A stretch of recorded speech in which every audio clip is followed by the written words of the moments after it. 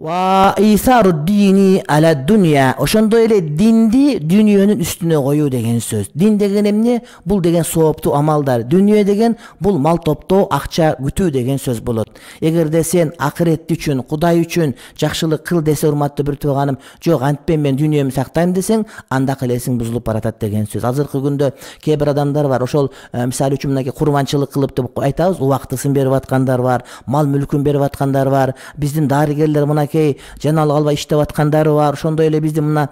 жол сакчылары тартип сакчылары милиция кызматкерлери аябай мындай бир канчалык кыйынчылык оорчулук болбосун жолдо тике туруп иштеп аткандары бар кудайым ошолордун баардыгына жакшылык берсин анан айта турган ушул жерде бир маселе мынакей жанагы чек араны коргоп эр жигит эл четинде жөө бетинде деп ошол жерде өтүп кеткен адамдарды биз шейит деп билебиз ошондой эле азыркы учурда ошол ооруканаларда атайын ооруп калгандарды карап үй бүлөсүнөн алыс болуп аткан биздин дарыгерлер дагы мына ошол чек араны коргоп аткан аскер сыяктуу ошондой эле жолдо тартиптин көзөмөлдөп аткан өздөрүнүн ден соолугун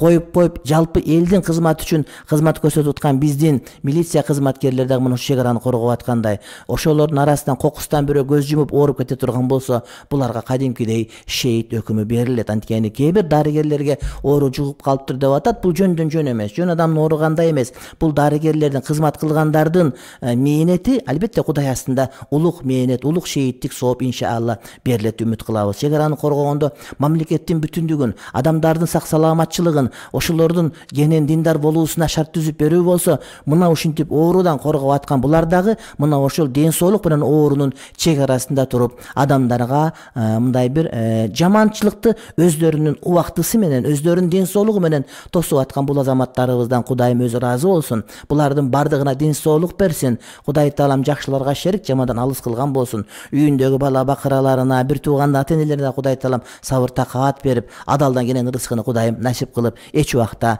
бул бир туугандарыбызды кудай таалам шерменде кылбасын